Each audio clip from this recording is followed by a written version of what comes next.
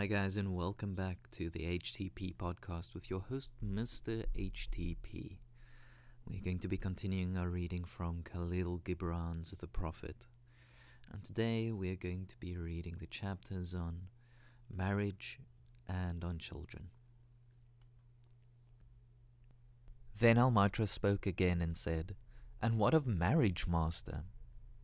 And he answered, saying, You were born together, and together you shall be for evermore. You shall be together when the white wings of death scatter your days.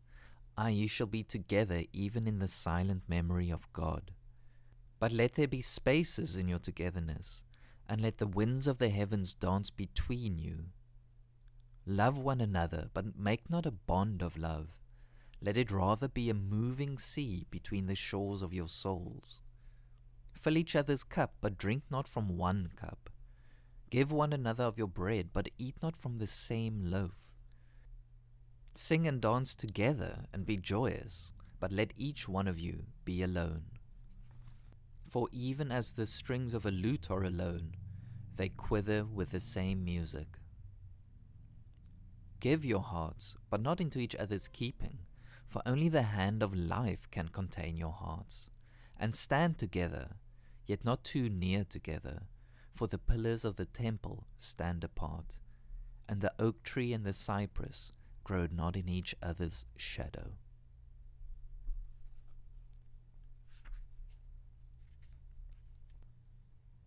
And a woman who held a babe against her bosom said, Speak to us of children. And he said, Your children are not your children. They are the sons and daughters of life's longing for itself. They come through you, but not from you. And though they are with you, yet they belong not to you. You may give them your love, but not your thoughts, for they have their own thoughts. You may house their bodies, but not their souls, for their souls dwell in the house of tomorrow, which you cannot visit not even in your dreams. You may strive to be like them, but seek not to make them like you.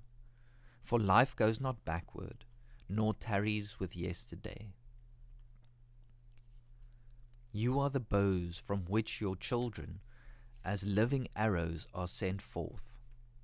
The archer sees the mark upon the path of the infinite, and he bends you with his might, that his arrow may go swift and far.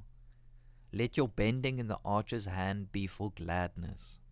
For even as he loves the arrow that flies, so he also loves the bow that is stable.